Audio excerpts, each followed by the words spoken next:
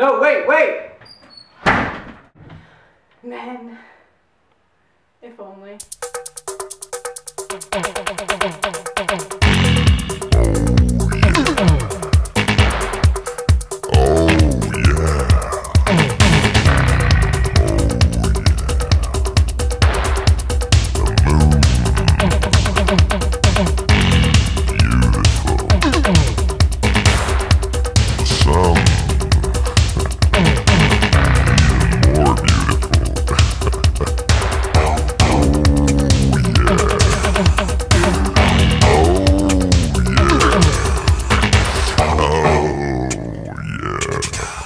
Oh